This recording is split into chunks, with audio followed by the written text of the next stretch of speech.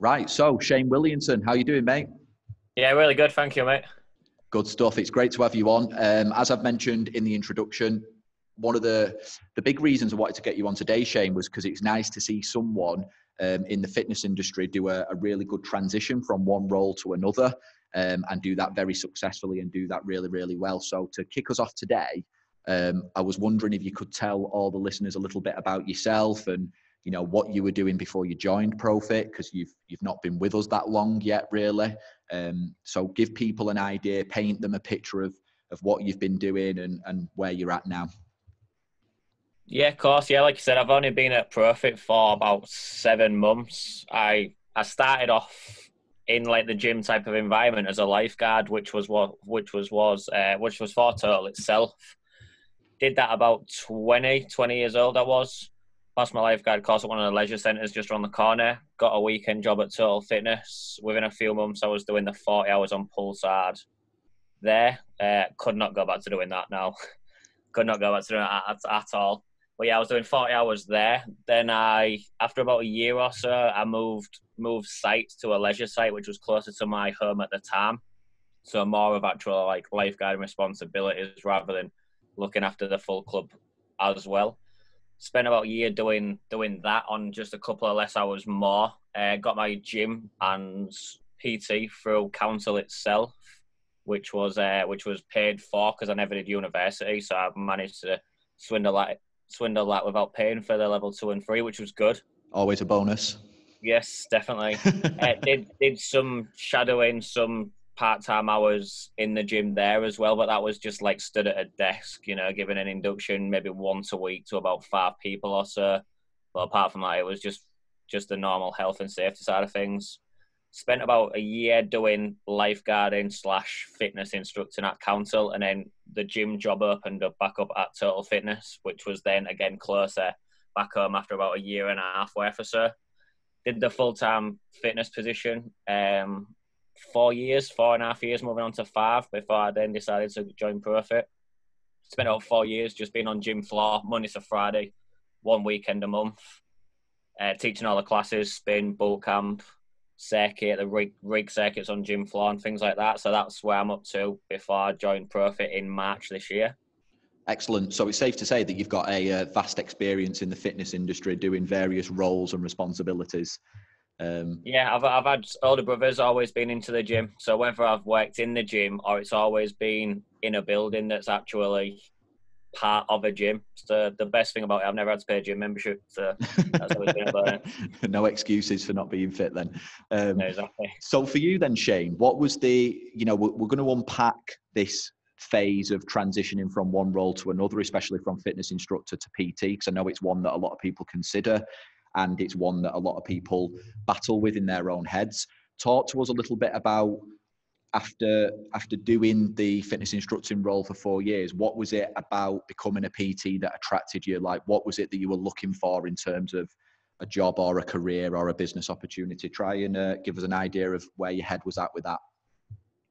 Yeah i feel like um, with me being actually in fitness industry, I always wanted to push to do that PT side of things. Obviously, the the worries was there when when I was con- considering coming across. The worries was definitely there, but I feel like being in the gym and seeing the perfect guys, you know, coming and going. Some of them staying. Like one specifically has been there for quite a while.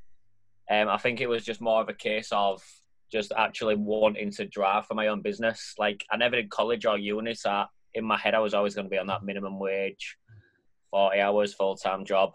And I, like I said, I, I didn't don't have a house, don't have a house myself, don't have kids, and it was one of them of let's just get some balls about myself, let's just push it through. Me and my girlfriend want a house in the future, and was just if if if I didn't didn't do anything about it, it was a case of there's other jobs out there for me. But as I've been doing it now, I'm about nine months into it. There's no bigger drive for me than running your own business, especially when it's something that you're most passionate about.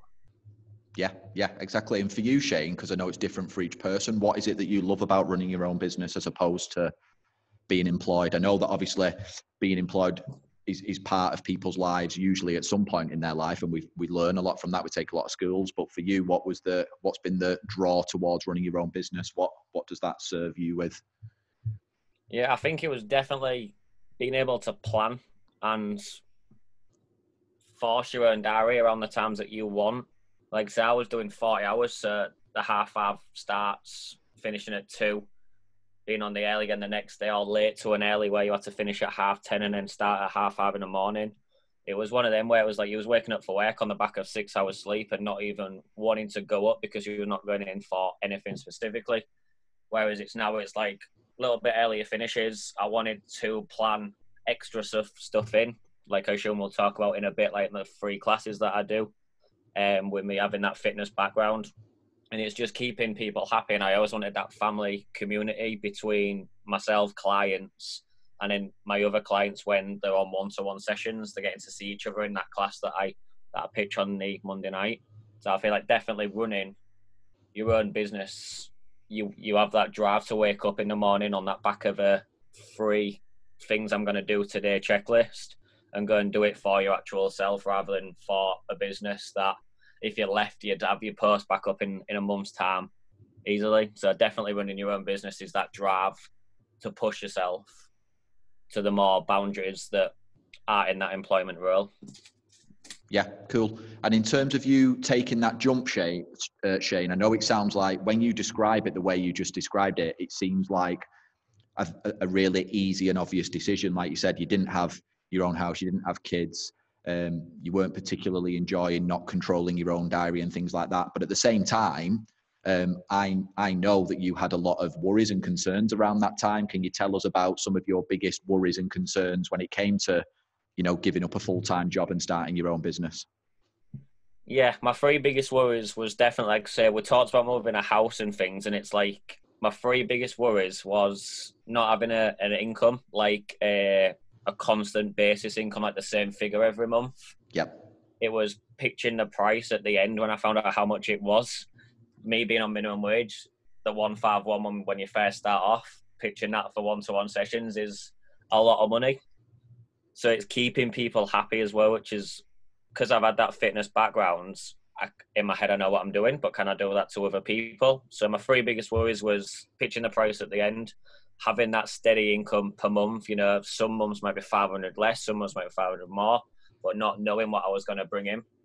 And then the third one was just keeping hold of clients, like pros and cons of everything. But I thought clients would drop off a lot faster and a lot quicker and all together, you know, in one go. Whereas, yep. like I said, I've been doing it nine months, and I think I've had well, I've had one drop off, and that was because you're retired. Yep. So it's literally yep. just good. Everyone's enjoying it. Everyone seems to be smashing the girls out, and then through the Pro-Fit, like education, you get taught how to actually sell yourself in the way of it's not just going to one five one. We get this, this, this, or this and it all it all makes sense. And when you do pitch it, the amount of people that have said to me, "Oh, is that it?" or "Oh, yeah, that's fine," is crazy. Rather than no, everyone going, "No, that's too expensive. I can't afford it."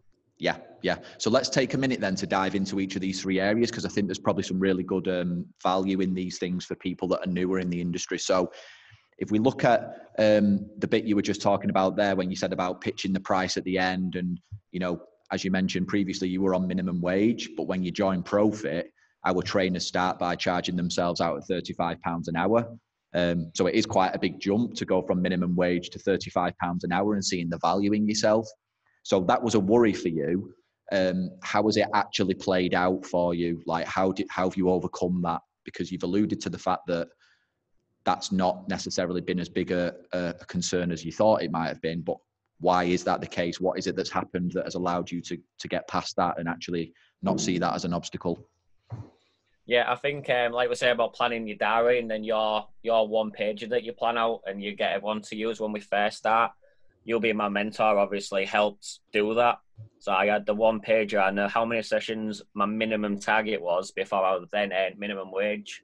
So if I'm doing 40 hours a week, I could do about 14 and still earn what I was earning being at total on, on the full 40 hours a week. And that's doing 14 sessions and now I hover around 100 sessions and it's like 25 a week, more or less doubling what I used to take home, give or take.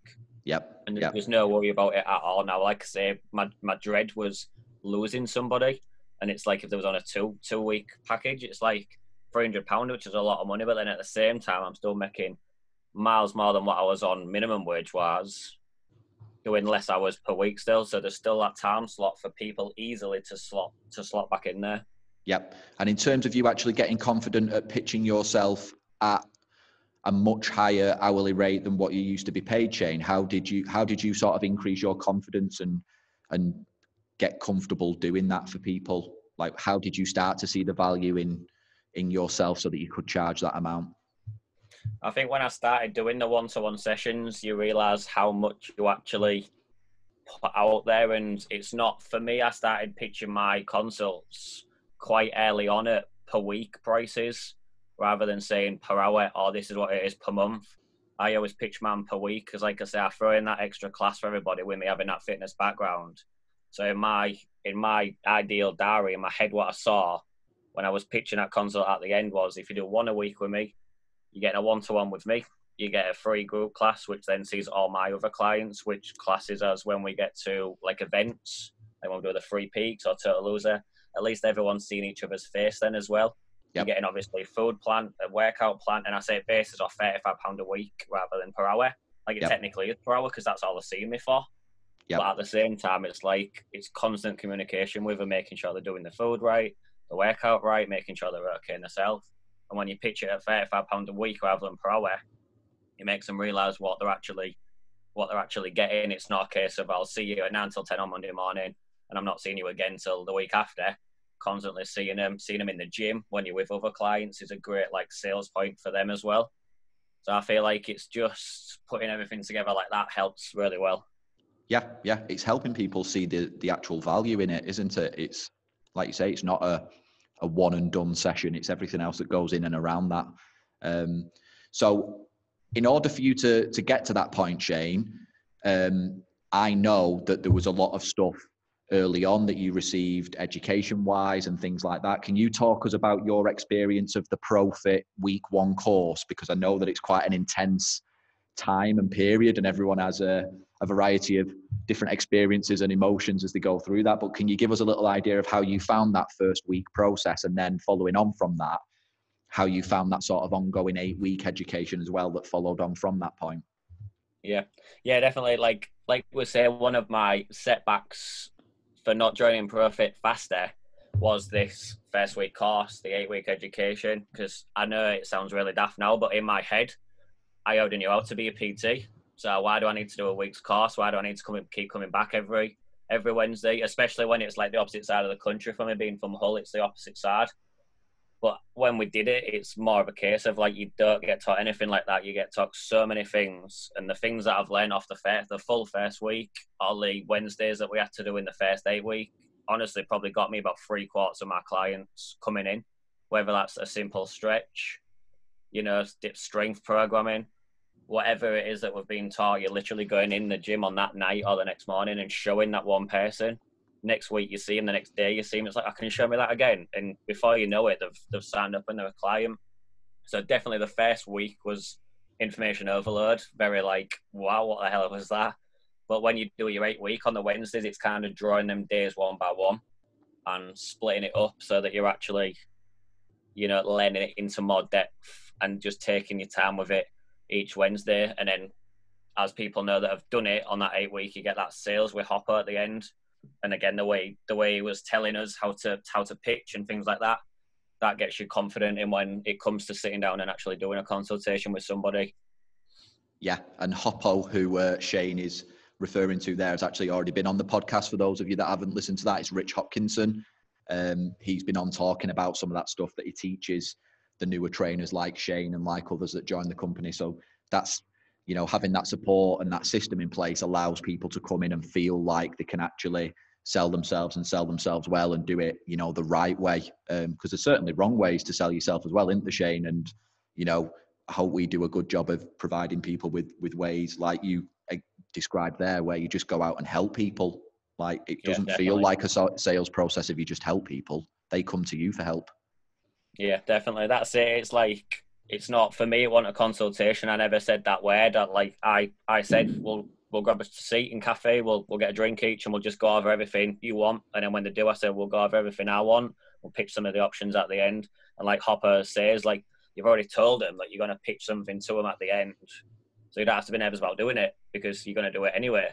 So they're expecting it, and it's not okay. It's like I've not had it yet, but there's always going to be a case of someone going, "No, I can't afford it," and it is as simple as that. People can't afford it, but we've still offered them that little that little bit of help, which pushes them in the right direction as well. And there may be clients six months, a year down the line, it might not just be there and then. You've yep. at least made that first initial statement with them. Yep. Um, there's a couple of points that you've mentioned so far, Shane, that I want us to dig a little deeper on because I think they'll be they'll be really useful for people. So the first one is when you told us about your story before Pro-Fit, you mentioned on a few occasions like you, didn't go to uni, things like that.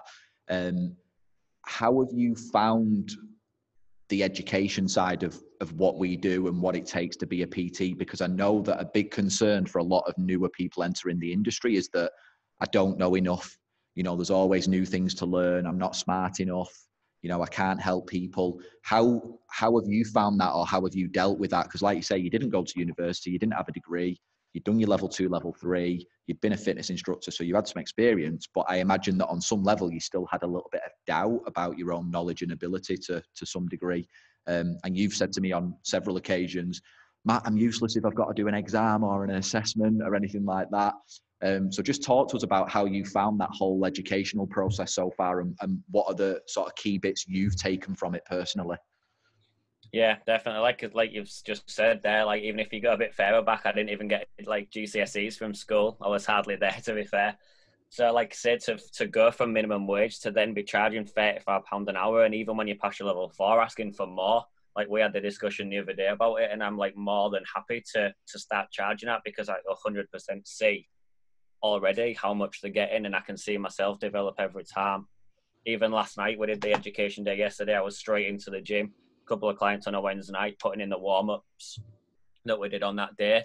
And they're looking at me as if to say, Where the hell did you learn that from? And it's like the know that every third Wednesday of the month for me at the minute, it's education day. And then going from, what else was it? Sorry. Um, just how you'd found like what are the what are the key bits that have helped you personally you know in terms of the education we've provided so far what are the bits that have have helped you the most yeah, definitely. Like like you said about the exams as well, I was always more practical, which is why I never had like the college or the uni on my mind because I could never sit with paperwork, exams. I just look at exams and them just blur together. But when we did the, like I said, the education day yesterday, it's like it's splitting it down into into to actual notes, so that when it comes to it, you're writing out a document, then that document transfers to the actual exam. And when you've got that interest inside of things as well, you're obviously taking more notes, more interesting things like that. So it's not a case of it's just like an exam, sit and do it. It's the full background help side of things, making notes, actually doing it as well, like practical wise, and then sitting the exam. So that definitely helps in that way, doing the education days rather than just being sent an exam and having to, to do it there and then you're doing it properly. Yeah, yeah, good. And I suppose something that links in well into sort of the education side of things is another area you mentioned earlier, you'd mentioned that one of your concerns before you started was like holding on to clients and retaining people over a longer period of time. Um, and I know that's something we try and help people with in terms of the education we deliver and stuff like that. Tell us about some of the things that you've done so far to retain clients and make sure that people keep seeing value and receiving value and you know you mentioned you've only actually lost one client in the last nine months which is amazing especially for a brand new pt you know you must be doing a lot of good things so give us an idea of what it is that you're doing for people that just keeps them bought in for a long time yeah going back from from Hoppo again when he did his sales it was like them wow ones you have to actually nail before you put in the twos and i've always been like a ocd type of person where all the files are right I know that I'm getting paid right. People know exactly what they're doing. If we're doing a catch up session, they know exactly when it is and things like that. And then, like I said, because I've had that fitness background, I throw in that class on the Monday night for everybody, and I, I alternate it from four four weeks. So I do spin on week one, abs on week two, boot camp is like week three, and boxercise slash you know that little punching type of circuit is week four. And the way I do it is I get people to to come that are clients of mine, but the rule is they have to bring a friend, a family, and if they're not on a membership pass, that's when Total Fitness obviously become my friend because they get a sign up potentially from it as well. Yep. That's been running a couple of months since I started to get my diary like exactly how I wanted it. So I think I've done it about three months now, maybe just coming up to that. And I've had about five sign ups from it. Total Fitness, I've had about seven. Yep. So it just it's an absolute no-brainer that I miss teaching the class side of things. So to throw out a 45 minutes, an hour, spare once a week to then get six, you know, five or six clients, even if that was a year, yeah, it's still absolutely worth worthwhile at all. And I Yeah. think when it comes to doing clients, it's just making sure they know that I'm taking interest in it. It's like as soon as they walk through the door, it's like we've always said, everyone knows this. It's like knowing the kids' birthdays, you know, uh, knowing exactly what they did on the weekend, asking how it was, what the plans are. And it's just not a, I never ask them to refer to me as a personal trainer. We're, we're friends, we know it's a family community. So I know exactly what they're doing. Like I say, I know the dog's called, I know what the cat's called, and things like that. And it's just making that mental note, like you would at the start, for when you first meet them and what they're doing the weekend. You know, I think you mentioned it about if the dog's going to the vets, how was he, and things like that. It's the stuff like that that previous personal trainers that they've had probably would have, you know, brought into account. It's literally like we say that hour. See you again next week, whereas we're more of that family community side of things and it's nice that they they actually get to know the other PTs in the gym. There's like Yeah. four or five of us at Hull now, so everyone seems to know each other. We've all got specific clients, but everyone seems to know each other as well, so it's great. Good. It just goes back to caring for people, doesn't it, mate? If you just if you just care, if you just show that you're you're interested in them as a person, it goes a long way, doesn't it? And I think what you've done there is, is you've built on that by integrating this community into the gym. You've used what you're good at and and built a community around that, which is which is absolutely phenomenal. Um, and that then becomes, you know, almost in an ironic way, that extra thing that you're doing for free to add value has actually actually become an, an amazing lead generation strategy for you. that could be the only form of uh, gym floor you do for the next few months, and it'd be enough to Yeah. keep your business ticking over nicely. Um, which I suppose leads us down down the route of where I'd like us to go next. Shane is trying to give people an idea of where you're at now. Um, I know you alluded to it a little bit earlier on, but but give the listeners a little bit of an idea of what your business looks like now, sort of, you know, nine months into the to the journey of uh, of being a Pro-Fit PT. Yeah, uh, just just popping back to the start there as well. It was a case of that the Monday night class type of thing. That's my lead generation, and it I literally don't have to walk the gym floor now at all. Whereas when I first started, I did a little bit. Like I have so much like admiration for the brand new PTs that come in, brand new gym. Whereas for me, obviously being the, the gym instructor first, I could walk around the gym at any time of the day, no faces and names, which obviously is a massive help Yep. when it comes to it. That month's notice that I had to hand in, I think my first week I had about 17 consults lined up already. Yep. Managed to get, you know, 15, 16 of them. Some of them can afford it. Some some of them, my pitching was bloody terrible at the time. But you obviously learn, you learn more as you do it. So I walked into about 43 sessions, I think my first month was Yep. like I say, a massive, massive help being in that fitness industry first, especially because it's that gym that I've left, but going back into self-employed.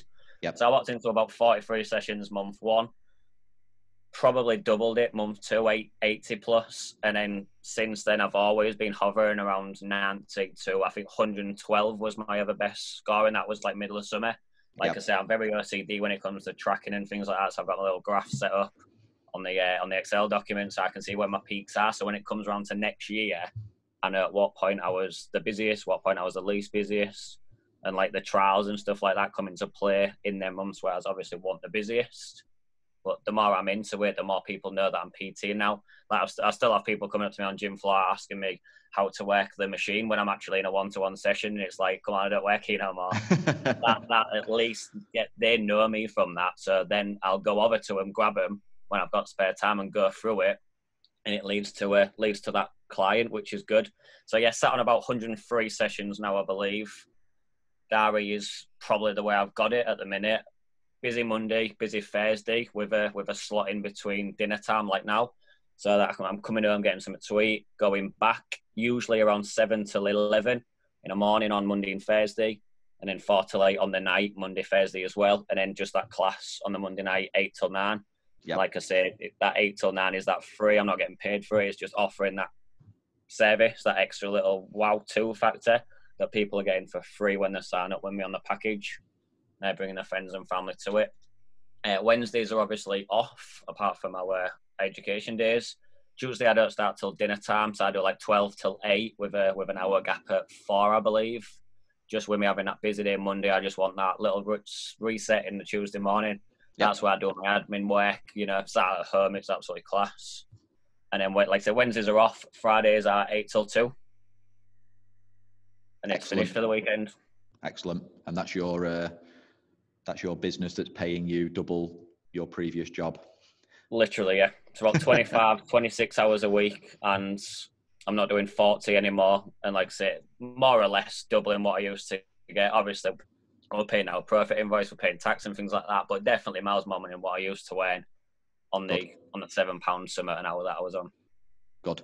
And I know that you're still very new into um, the Pro-Fit system and things like that, Shane, but looking ahead now, I know this was something that me and you talked a little bit about on Monday when I was in Hull, but give give uh, give the listeners an idea of where you're setting your sights for the future. Like, what is it that you want to work towards? What is it that you're hoping to to do with your business? Like, give us an idea of where you would like to take things over the next few years.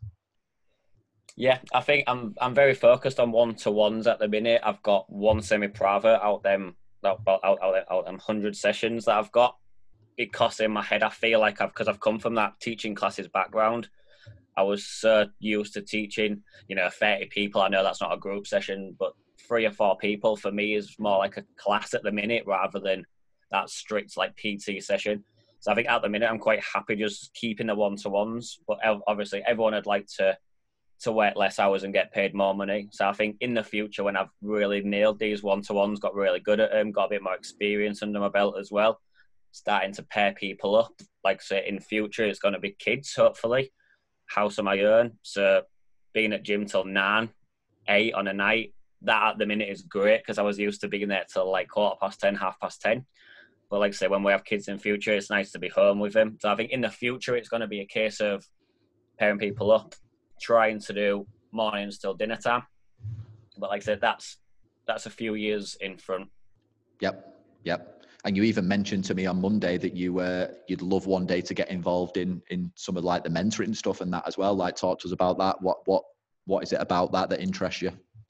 Yeah, definitely. Like when I first started, Matt, you were it was the text call every other day, you know, asking how I was, getting that buzz off the first sign up that I made, the the twentieth sign up. It's still the same like gardens excitement that you get. And I feel like I've been class at doing stuff like that because I've always been like that team leader in like previous jobs. Yep. So I feel like I could guide people through it, especially with me being that gym instructor background. It's pushing people through that as well. So that stage obviously helps. Knowing how to to now do them lead gens on the floor.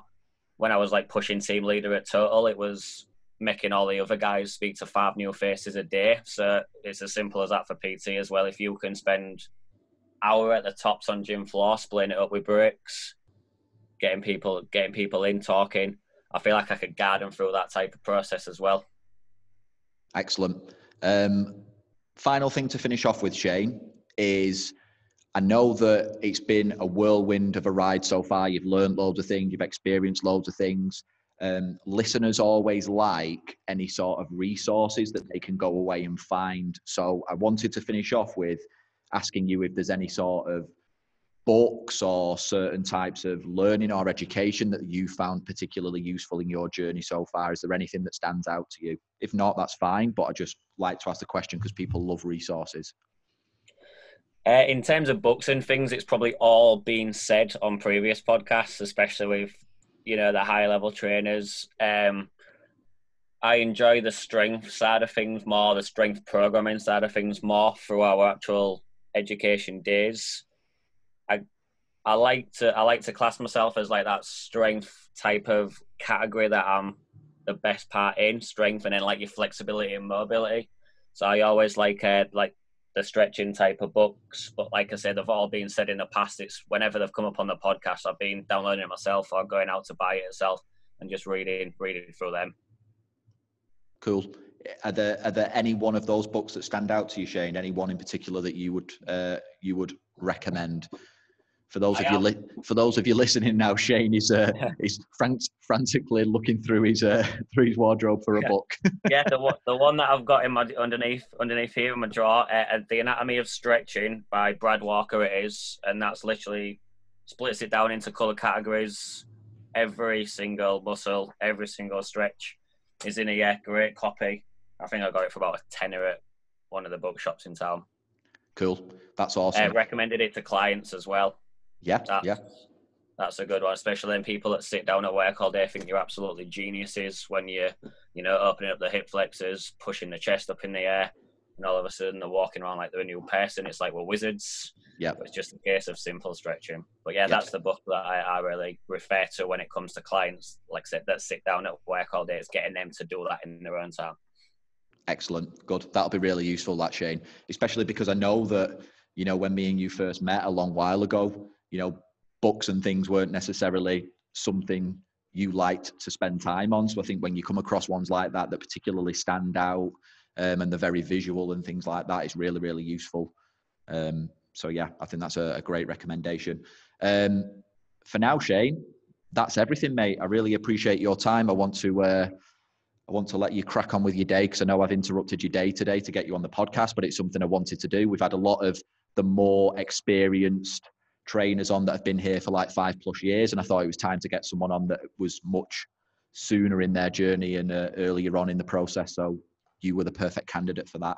Um, are there any yeah, sort of are there any sort of final thoughts or sort of bits of advice you would give to new people that are thinking about becoming a PT or thinking about doing what you did and jumping from fitness coach or fitness instructor to personal training? Yeah, I think um, I think if you are going from fitness to the PT through Pro-Fit, I would 100% recommend it, especially if you are in the same gym that you're going to go to.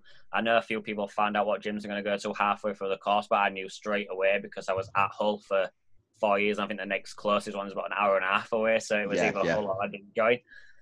Um, I think yeah, hundred percent recommend it. Like I say, if you've got that fitness background, you know what you're doing. It's just doing that course of Pro-Fit the first week, the eight week, really, really pushes you out your comfort zone.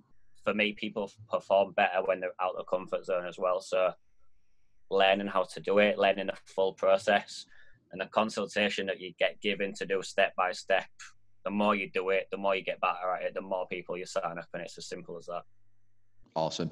Well, as I said a, a, few moments ago, Shane, thank you very much for coming on. Really appreciate it. You're welcome. And I know that there's, there'll be loads of stuff in there that people have found really useful, especially uh, newer trainers. Yeah, hopefully, mate. I appreciate it.